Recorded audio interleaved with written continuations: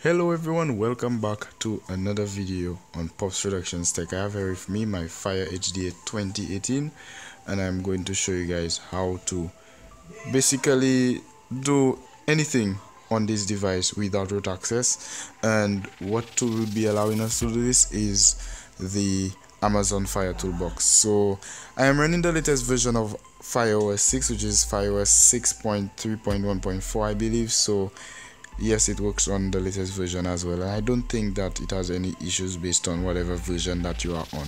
So um, let's jump right in. All right so basically you have to get of course the amazon fire toolbox installed. And of course i want to give credit to datastream the developer of this tool and whoever else who is affiliated with this tool as well. Um, so of course i have it downloaded and you download the latest version and um, it will download as a zip and you extract it. And when you have the zip file extracted you are going to simply open it up and you will find these files in the zip file.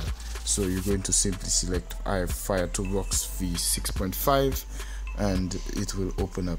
So as you can see here on my screen I have the toolbox already downloaded.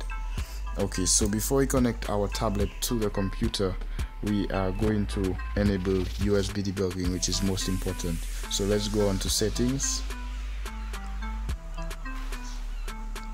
Alright and now we're going to go over to device options. So this is on FireOS 6 it may be different on FireOS 5 okay so on device options now we're going to head over to about Fire tablet and um, be before we enable USB debugging we'll need to enable develop options. So we're going to find our serial number okay? And um, we're going to tap on that several times until we enable developer options. Now it's different on FireOS as you know on typical Android you tap on build number.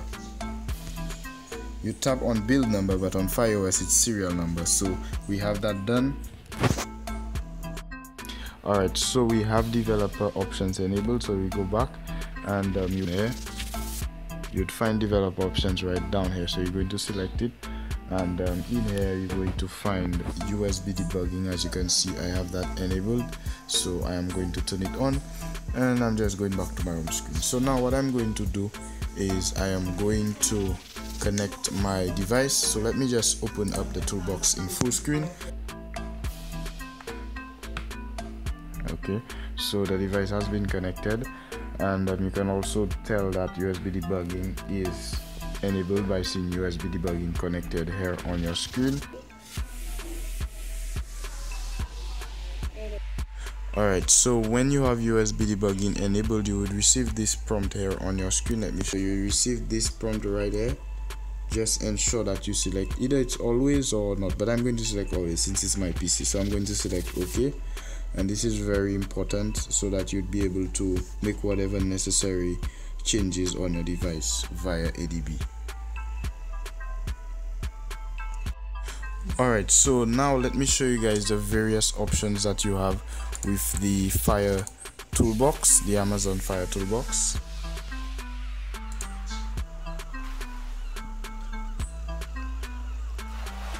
Alright guys, so let me show you the tools that we have the options the varying options that we have. We have manage everything amazon which in there you have the option to disable amazon apps and also restore amazon apps. So if you probably want some of the amazon apps back you can do that. Um, in today's video wow it's very tickling as to which one am i going to do. But first off i will do a custom launcher because um, I don't really like the Amazon launcher.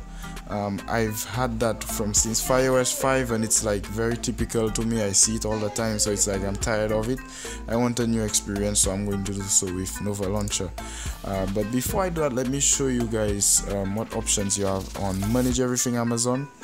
If you select disable, you have the option to do so automatically or manually. But if you do so manually, I'm going to show you guys the options that you have alright so here's a few options of the apps that you can remove um, right now.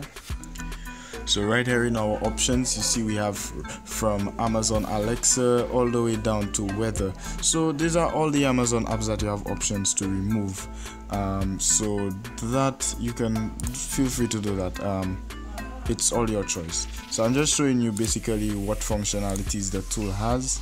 Um, also let me go over to um, you also have the option to install Google Assistant and Google Services which includes the Google Play Store and other Google apps. So you have that as well.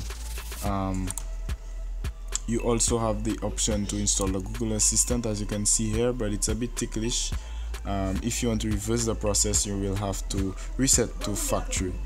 Um, you also have guys screen wallpaper you can change the screen wallpaper and as you know it's a bit ticklish to change the screen wallpaper on your fired tablets. So this app also allows you to do so. Um, so basically you have this option there. So just follow the prompts. It's very easy. Just follow the prompts and you can do whatever you'd like. Um, I will go ahead and change my launcher. Alright and um, I'm going to do that now okay so I'm going to select choose uh, which basically means that I have to choose which launcher I'd like. So this window here would show me which um, it would give me a list basically of the launchers that I'd like to install. So as you can see there is Nova launcher in the list.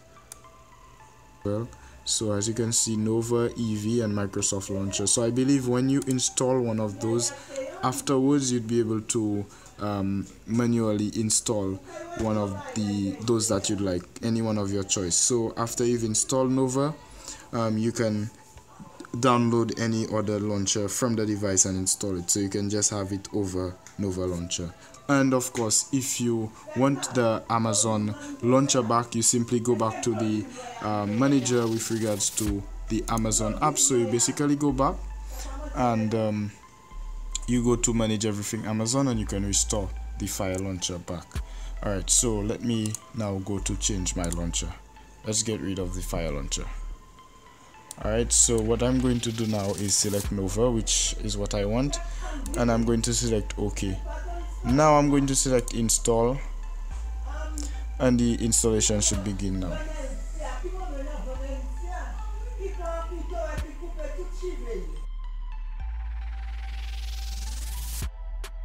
launcher is being launched. And um, here you can see that Nova launcher is now on my device installed successfully. Um, let me lower the brightness a bit so that you guys can see my screen clearly. Um, so yeah we have Nova launcher. Um, no more fire launcher. So as you can see I can press the home button several times and it only remains on Nova launcher which is amazing. And um, yeah so of course we also have modify system settings. So this app is very extensive. It has lots of options. You have the option to disable fireOS updates and um, also the automatically updating of your apps. So you have all these functionalities on this app. Um, of course it has frequent updates so look forward to other functionalities being implemented. Um, yeah so that's basically it for today's video guys. Basically a heads up on um, things that you can still do on your fire tablet. Um, you know without root i mean it's the worst but um, this app is basically similar to that. It just allows you several functionalities without root access. So i trust that you enjoyed today's video. Be sure to subscribe to my channel like the video share it with others and i will see you in another one. Have a good one guys